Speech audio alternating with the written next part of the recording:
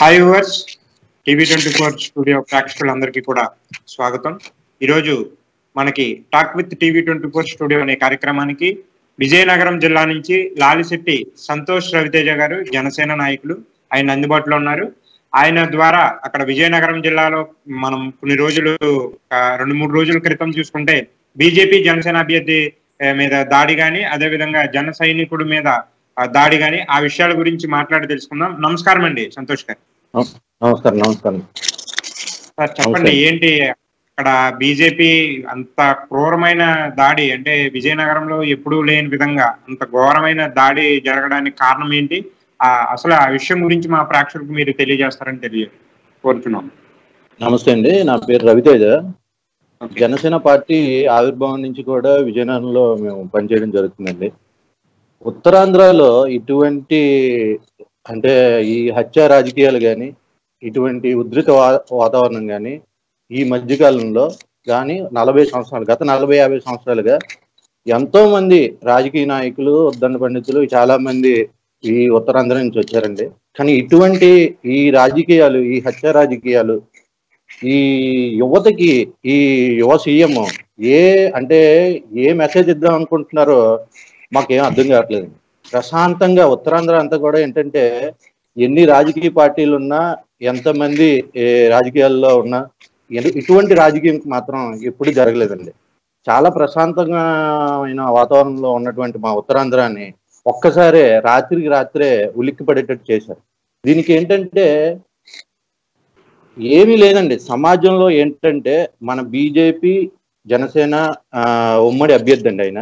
ఇరవై ఒకటో. వార్డులో కార్పొరేటర్గా ఆయన మొన్న వేయడం జరిగింది.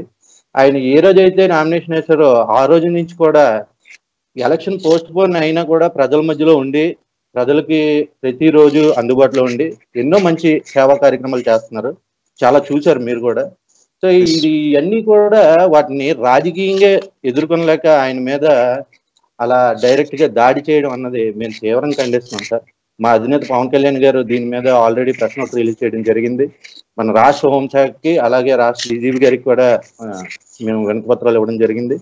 ఈ లోకల్గా విజయనగరంలో తీసుకునేటట్టయితే మా ఎస్పీ మేడం గారు ఈ ఏదైతే వన్ టౌన్ పరిధిలోకి వస్తుందండి ఇప్పుడు జరిగిన సంఘటన ఆ సిఐ గారిని సస్పెండ్ చేయడం జరిగింది. ఇప్పుడు వన్ ఫార్టీ ఫోర్ సెక్షన్ పెట్టారు. ఇదన్నీ కూడా అంటే ప్రశాంతంగా ఉన్నటువంటి మా విజయనగరం ఉత్తరాంధ్రలో విజయనగరం అంటే అసలు చా- ప్రశాంతతకి మారిపోయారండి ఈ ప్రభుత్వం అంటే ఏం చేస్తుందంటే ఏం జరుగుతుంది? సంక్షేమ పథకాల మీద ఉన్నటువంటి ఆయనకి ఉన్నటువంటి శ్రద్ధ అభివృద్ధి మీద లేదండి. ప్లస్ రాష్ట్రంలో ఎక్కడ ఏం జరుగుతున్నది? శాంతి భద్రతలు ఏం జరుగు ఏమవుతున్నాయి? ఈ ఆయన పేరు చెప్పుకొని రాష్ట్రంలోని ముఖ్యమంత్రి గారిని చూసుకొని ఎవరైతే ఈ వైసీపీ శ్రేణులు ఉన్నాయో ఇవన్నీ కూడా వీళ్ళు యువతంతా కూడా తప్పుదో పడుతున్నారండి. మొన్న మొన్న తీసుకుంటే విజయవాడలో ఒక ఘటన జరిగింది. అటువంటి. ఘటన జరిగిన జరిగినప్పుడు మిగిలిన రాష్ట్రం అంతా కూడా ప్రశాంతంగా ఉండాలి. ఇలాంటి అసాంఘిక కార్యక్రమాలు జరగడానికి ఆ తోవ లేకుండా ఉండాలని చెప్పి ఆయన వెంటనే ఏమైనా కఠిన నిర్ణయాలు ఒక గట్టి చట్టాలను తీసుకుని వచ్చినట్టయితే ఈ రోజు మేము ఒక యువ నాయకుడిని ఇంత దారుణంగా మేము ఇబ్బంది పడే పరిస్థితి వచ్చింది. ఈ రోజు ప్రతి ఒక్కరు కూడా పవన్ కళ్యాణ్ గారి పిలుపు మేరకు ఎంతో మంది యువత రాజకీయాలకి రావడానికి స్వచ్ఛమైన ఈ రాజకీయాల కోసం ముందుకు వచ్చారండి ఇంట్లోంచి బయటకు. ఈ రోజు ప్రతి ఒక్కరు ఏంటంటే మామూలు సామాన్య ప్రజల్నే భయ అంటే మామూలుగా కాదు సార్. అంటే మేము చెప్పిందే జరగాలి మేము చెప్పిందే చెయ్యాలి అనే విధంగా అధికారులని అధికార యంత్రాంగాన్ని కూడా వీళ్ళు అలా తయారు చేశారండి. అధికారులు ఏ రోజైతే స్వేచ్ఛనిచ్చి అధికారుల్ని ఆ వాళ్ళ పని వాళ్ళని చేసుకున్నట్టయితే ప్రజలకి కానీ ఇటు అధికారం కానీ అటు ప్రభుత్వానికి కానీ ఎటువంటి ఇది ఉండదండి. ఏదైనా ఇక్కడ ఇంకొక విషయం అండి. ఏంటంటే ప్రధానంగా ఇటువంటి చర్యలు చేస్తే భయభ్రాంతులకు గురి చేసి మిగతా వాళ్ళు కొంచెం వెనకడుగు వేసే దిశగా అన్న ప్రయాణం చేస్తున్నారంటారా? అది ఖచ్చితంగా సమాజంలో మనకి ఇటువంటి సంఘటనలు జరిగినప్పుడు అండి అది కూడా మాలాంటి ఈ ప్రశాంతమైన వాతావరణం ఉన్నటువంటి ఏరియాలో ఇలాంటి దారుణమైన ఘటనలు జరిగితే ఖచ్చితంగా అండి. ఈ రోజుకి దగ్గర దగ్గర మూడు రోజులు అవుతుందండి. త్రీ డేస్ కూడా ప్రజలందరూ కూడా భయ ఆందోళనలో ఉన్నారండి. ఆందోళన ఉన్నారండి. ప్రతి వార్డులోని ఈ వార్డులోని కాదు ప్రతి వార్డులోని కూడా ఎప్పుడు ఎక్కడ ఏం జరుగుతుందో తెలియని పరిస్థితిలో ఉన్నారండి ప్రజలందరూ. చాలా ఆందోళనలో ఉన్నారండి. దీనికి ఏంటంటే ఇది ఈ ఇటువంటి ఈ హత్యా రాజకీయాలు ఇవన్నీ కూడా తీవ్రంగా ఖండిస్తున్నామండి. మేము ప్రజెంట్ ఏంటంటే ఇందులో మార్పు తీసుకురావాలనే ఒక మంచి ఆలోచనతో ముందుకు వచ్చామండి మాలాంటి వాళ్ళు ఇప్పుడు డబ్బు డబ్బు బలం అధికార బలం అన్- అన్ని అంగబలాలు ఉండేవాళ్ళు ఈ రోజు రాజకీయాల్లో ఉన్నారు. ఇటువంటి యువత వచ్చి స్వచ్ఛందంగా వాళ్ళు ఏంటంటే ఈ సేవా కార్యక్రమాలు చేయడం వాళ్ళు తట్టుకోలేకపోతున్నారు. ఏదైనా ఉంటే రాజకీయంగా ఎదుర్కొనాలి. రాజకీయంగా సమాధానం చెప్పాలి. ప్రజలు ఉన్నారు కదా గెలుపు ఓటమి వాళ్ళు తీర్పు ఇస్తారు. మీకు చేతనైతే మీరు సహాయం చేయండి. అది మానేసి ఇప్పుడు ప్రజలకు మంచి పని చేసే వాళ్ళ మీద వచ్చి మీరు ఇలాంటి దాడులు చేస్తే ఇంకా ఎవరండి ఇప్పుడు దీని అంతటికి ఎవరు చూస్తారు? సీఎం గారు ఏంటంటే ఎంతసేపు ఆయన సంక్షేమ పథకాల మీద ఉన్నటువంటి శ్రద్ధ రాష్ట్రంలో ఏం జరుగుతుందనే అది మినిమం ఆయనకి నాలెడ్జ్ ఇన్ఫర్మేషన్ ఉందో లేదో కూడా తెలియదు మనకి. ఓకే ఇప్పుడు మీ పార్టీ నుంచి చూసుకుంటే ఎవరైతే బీజేపీ నుంచి కానీ జనసేన నుంచి కానీ ఏ విధమైన అండ ఇచ్చారు? వాళ్ళకి ఆ దాడి జరిగిన వ్యక్తి కుటుంబానికి కానీ లేదంటే ఇటువంటి సంఘటనలు జరిగినప్పుడు ఏ విధంగా మీ పార్టీ కానీ బీజేపీ కానీ కార్యకర్తలకు అండగా ఉంటుంది? మేము జనసేన పార్టీ తరపు నుంచి మా ఎమ్మెల్యే విజయనగరం నియోజకవర్గానికి సంబంధించి మా పాలవలస యశస్వి గారు ఇక్కడ అభ్యర్థి అండి. ఆవిడ high court advocate. So madam గారు ఆల్రెడీ మా జనసేన పార్టీలో పొలిటికల్ అఫైర్స్ కమిటీలో మెంబర్ అండి. One of the member so నిన్న మేము ఎస్పీ గారికి విజయనగరం ఎస్పీ గారికి అలాగే మన హోంశాఖ కూడా మెయిల్ పంపించడం జరిగింది.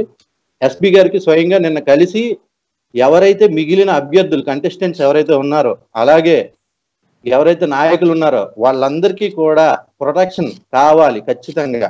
మా క్యాండిడేట్లకి మాకు ప్రొటెక్షన్ కావాలని చెప్పి మనం ఎస్పీ గారికి వినతిపత్రం ఇవ్వడం జరిగిందండి. అలాగే దీని మీద ఈ ఈ చర్యలు ఎవరైతే ఇప్పుడు మొన్న ఈ దాడి ఘటన జరిగిందో అందులో ఎవరైతే దోషులు ఉన్నారో వాళ్ళు ఎంతటి పెద్దవాళ్ళైనా సరే కఠినంగా వాళ్ళకి శిక్ష పడాలి అని చెప్పి మనం వినతిపత్రం ఇవ్వడం జరిగిందండి. అలాగే ఇప్పుడు మిగిలిన కంటెస్టెంట్లు ఎవరైతే ఉన్నారో వాళ్ళకి కూడా జనసేన పార్టీ తరపు నుంచి పవన్ కళ్యాణ్ గారు భరోసా ఇవ్వడం జరిగిందండి. మీకు నేనున్నాను మీరు ప్రజల్లోకి వెళ్ళండి ప్రజలతో మమేకం అవ్వండి పార్టీని బలోపేతం చేయండి ప్రజా సేవలో మీరు ఉండండి మీరు మీరు ఇంకా సెకండరీ ఆలోచన మీకు అనవసరం ఏం జరిగినా నేనున్నానని చెప్పి పవన్ కళ్యాణ్ గారు మాకు భరోసా ఇవ్వడం జరిగిందండి. అలాగే మా గురువు గారు శివశంకర్ గారు మా జనరల్ సెక్రటరీ గారు వెంటనే ఆయన కూడా రెస్పాండ్ అయ్యి మీరందరూ ధైర్యంగా ఉండండి ఏం జరిగినా మేము ఉన్నాం అని చెప్పి వెంటనే వాళ్ళు నాయకులను పంపించడం జరిగింది. పార్టీ హైకమాండ్ వాళ్ళు వచ్చారు. ఎస్పీ గారిని కలిసాం. మొత్తం అన్ని వివరించాం. వెంటనే చర్యలు తీసుకోమని చెప్పి డిమాండ్ చేస్తాం ఓకే. ముఖ్యంగా ఇటువంటి దాడికి అంటే ఇప్పుడు ముఖ్యంగా విజయనగరంలో ఆ దాడి వెనకాల ఏ విధమైన కుట్ర అంటే ఆయన స్వభావం కానీ ఇప్పుడు గాయపడిన వ్యక్తి యొక్క స్వభావం కానీ ఎలా ఉండేది? ఇంత క్రితం లేదంటే రాజకీయ కక్షలు కానీ ఇవే ఈ నేపథ్యం ఏమన్నా ఉందా? ఆయన లేదండి. అంటే ఇప్పుడు ఆయన మామూలుగా ప్రజాసభలో ఉండేటువంటి వ్యక్తిని బీజేపీ అధినాయకత్వం ఆయన్ని పిలిచి ఆయన టికెట్ అవ్వడం జరిగిందండి. అది కూడా ఏంటంటే బీజేపీ జనసేన ఉమ్మడిగా ఇప్పుడు లోకల్ బాడీ ఎలక్షన్స్లో మనం వెళ్తున్నాం కాబట్టి అక్కడ మ్యూచువల్ అండర్స్టాండింగ్ తోని ఆయన ఈ ఆ వార్డుకి ఆ డివిజన్కి ఆయన ఎలిజిబుల్ అని చెప్పి ఆయనకి మనం ఆ టికెట్ కేటాయించడం జరిగిందండి. ఆయన కేటాయించిన డే వన్ నుంచి కూడా ఆయన అంటే ఏంటో వార్డులో ప్రూవ్ చేసుకుంటున్నారు. వార్డులోకి వెళ్ళి ప్రజల్లోకి వెళ్ళి మనం అడిగితే కనుక సమ్ కా ఇప్పుడు ఎవరైతే పర్సన్ కాళ్ళ నారాయణరావు అనే వ్యక్తి మనం ఇరవై ఒకటో వార్డు నుంచి మనం టికెట్ ఇచ్చాం. ఆయన పనితీరు ఎలా ఉంది అని మీరు అడిగితే కనుక ఆయన చేసిన పనితీరే ఈ రోజు ఆయన ప్రాణాల మీద తెచ్చున్నాడు శానిటైజర్ దగ్గరుండి శానిటైజర్స్ చేయిస్తున్న వ్యక్తిని వాళ్ళు వచ్చి నువ్వెవరు చేయించడానికి? అని చెప్పి ప్రశ్నించి గొడవకి ఇంత ఇంత పెద్ద గొడవకి దారుణానికి ఒడిగట్టినటువంటి పరిస్థితి వచ్చిందండి. ఒక బాధ్యత గల పౌరుడిగా ఆ వార్డులో ఆయన ఒక కంటెస్టెంట్గా ఆయన ఆయన దగ్గరుండి ఆ వార్డులో చేయిస్తున్నటువంటి సమయంలో ఇవన్నీ కూడా చేయడం జరిగిందండి అది. ఓకే. అంటే ఏం చేసినా వాళ్ళే చెయ్యాలి ఇంకా వేరే పార్టీ వాళ్ళు కానీ వేరే వ్యక్తులు కానీ ఎవరు ఏమీ చేయడానికి లేదు. అనే ఒక ధోరణిలో ఇప్పుడు ఉన్నారండి. ఓకే. పోలీసుల దగ్గరికి వెళ్ళినప్పుడు లేదంటే ఒక వ్యవస్థ దగ్గరికి వెళ్ళినప్పుడు వాళ్ళ దగ్గర నుంచి రెస్పాండ్ ఎలా ఉంది మీకు? లేదంటే ఒక్కటే సార్. అధికారులు ఎవరిని కూడా వాళ్ళ పనిని వాళ్ళని చేయనివ్వడం లేదండి. అధికారులను వారు చేయవలసిన పనిని వాళ్ళు చే సక్రమంగా చేసేటట్టు వాళ్ళని ఎటువంటి ప్రజలకి గురి చేయకుండా విడిచిపెట్టినట్టయితే ఎటువంటి ఒత్తిడి లేకుండా ఖచ్చితంగా ప్రజలకు న్యాయం జరుగుతుందండి. ఇక్కడే కాదు సార్ ఎక్కడైనా సరే. కానీ ఇక్కడ మాకు మా జిల్లాలోకి వచ్చేసరికి ఏంటంటే ప్రజలందరూ కూడా తెల్లవారు లేచామా మన పని చేసుకున్నామా ఏదో ఒక పని చేసాం కూలి పనికి వెళ్ళాము ఒక రెండు వందలు మూడు వందలు సంపాదించుకున్నాం మనం మన ఇంట్లో మనం ఉన్నాం పడుకున్నాం అనేటువంటి ఒక ధోరణిలో ఉన్నటువంటి ప్రజలండి ఇక్కడ. ఇలాంటి హత్య రాజకీయాలు కానీ దోపిడీలు కానీ ఈ గొడవలు కానీ ఈ అంటే ఆ రోజు వాతావరణం చూస్తే సార్ ఎంత భయంకరంగా అంటే కత్తులు.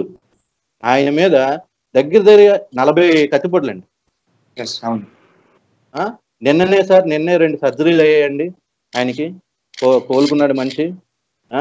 ఇప్పుడు ఎలా ఉందంటే పరిస్థితి ఇప్పుడు నెక్స్ట్ ఇలాంటి రాజకీయాలు చేస్తుంటే నెక్స్ట్ యువతకి సీఎం గారు ఇచ్చే సందేశం ఏంటి సార్? యువ సీఎం యువ సీఎం అంటున్నారు. యువతకి ఆయన ఇచ్చే సందేశం ఏంటి? అంటే ఇక ఇదా ఈ రౌడీ రాజ్యమా ఎంత దారుణం అండి? ప్రధానంగా మీ డిమాండ్ ఏంటి? ఈ ఇటువంటి చర్యల మీద మా డిమాండ్ ఒకటే సార్. ప్రశాంతంగా ఉండేటువంటి మా ఉత్తరాంధ్రలో వైజాగ్ ఒక రాజధాని అని చెప్పి తీసుకొచ్చి భూముల మీద విపరీతమైన గొడవలు జరుగుతున్నాయండి ఇప్పుడు. దానికి తోడు ఇప్పుడు ఏంటంటే వీళ్ళ మార్క్ ఒకటి చూపించాలి ఉత్తరాంధ్ర మీద అనే ఒక ఆలోచనతో వాళ్ళు ఒక మార్క్ రాజకీయం చేద్దామని చెప్పి ఈ రోజు ఏంటంటే వాళ్ళ అనుచరులకి వాళ్ళ తాలూకా మనుషులకి వాళ్ళ తాలూకా అందరికీ కూడా గవర్నమెంట్ ఆఫీసుల్లో పనులు అయ్యే విధంగా సంక్షేమ పథకాలన్నీ కూడా వాళ్ళ అనుచరులకి వాళ్ళ సపోర్టర్స్ కే చెందే విధంగా ఎవరైనా అడ్డొచ్చి ఇలాగ ఎవరైనా స్వచ్ఛందంగా పనులు చేసేవారైతే ముందు డైరెక్ట్గా భౌతిక దాడులు దిగడం ఏంటండి. దీన్నైతే పవన్ కళ్యాణ్ అయితే ఒప్పుకునే పద్ధతి అయితే కాదండి ఖచ్చితంగా. కాదండి ఖచ్చితంగా. కాదండి. ఖచ్చితంగా కాదండి. పవన్ కళ్యాణ్ గారు ఒకటేనండి కోరుకునేది. పవన్ కళ్యాణ్ గారు ఒకటే సార్ పవన్ కళ్యాణ్ గారు కోరుకునేది ఏంటంటే ఉత్తరాంధ్ర వెనుకబాటుతనానికి గురయ్యింది ఆ వెనుకబాటుతనాన్ని నుంచి బయటికి తీసుకురావాలి అని చెప్పి ఇక్కడే మాలాంటి యువతకి విజయనగరంలో విజయనగరం జిల్లాలో తొమ్మిది నియోజకవర్గాల్లో నలుగురికి ఆయన స్వచ్ఛందంగా ఎటువంటి రాజకీయ అనుభవం లేనటువంటి వ్యక్తులు టికెట్లు ఇవ్వడం జరిగింది సార్. అంటే ఏ విధంగా మేము ఏ విధంగా ఇప్పుడు ఈ రాజకీయాన్ని మనం కొత్త తోవలకు తీసుకెళ్దాం అని చెప్పి మేము జీరో బడ్జెట్ పాలిటిక్స్ చేసి మేమంతా ఒక సమాజంలో మార్పు తీసుకొద్దాం ఒక ప్రయత్నం చేస్తుంటే మా- మాకు మా ఈ ప్రయత్నంలో మన కేంద్ర బీజేపీ పార్టీ వాళ్ళు వాళ్ళ సహకారం వచ్చింది. ఇప్పుడు వాళ్ళ సహకారంతో మరింత మేము ముందుకెళ్ళాలని చూస్తున్నాం. ఇలాంటి టైంలో ఏంటంటే ఇలాంటి రాజకీయాలు చేయడం అన్నది చాలా బాధాకరం అండి చాలా బాధాకరం ఓకే అండి. ఆ, మీ మీతో పాటు జనసేన అదేవిధంగా బీజేపీ నాయకులందరూ కూడా ఎవరైతే కార్ల నారాయణరావు గారు అక్కడ గాయపడ్డారో వాళ్ళందరికీ కూడా బలమైన వాళ్ళ కుటుంబానికి బలమైన సపోర్ట్గా ఉండాలని మా టీవీ ట్వంటీ ఫోర్ స్టూడియో తరఫున కూడా కోరుకుంటూ ఆయన ఖచ్చితంగా రికవర్ అయ్యి మళ్ళీ ప్రజాసేవలో అంకితం అవ్వాలని మేము కూడా కోరుకున్నాం అయితే ఇటువంటి భౌతిక చర్యలు ఎవరు చేసినా అటు అధికారంలో ఉన్న వాళ్ళైనా ప్రతిపక్షంలో ఉన్న వాళ్ళైనా ఖచ్చితంగా ఇది రాజ్యాంగానికి అయితే విరుద్ధం కాబట్టి అటువంటి చర్యలను మేము కూడా తీవ్రంగా ఖండిస్తున్నాం. మీరు ఈ టీవీ ట్వంటీ ఫోర్ స్టూడియో ద్వారా అనేక విషయాల్ని అక్కడ జరిగిన వాస్తవిక విషయాలన్నింటినీ కూడా మా ప్రేక్షకులకు అందించినందుకు టీవీ ట్వంటీ ఫోర్ స్టూడియో తోటి మీకు ప్రత్యేకమైన ధన్యవాదాలండి. Thank you thank you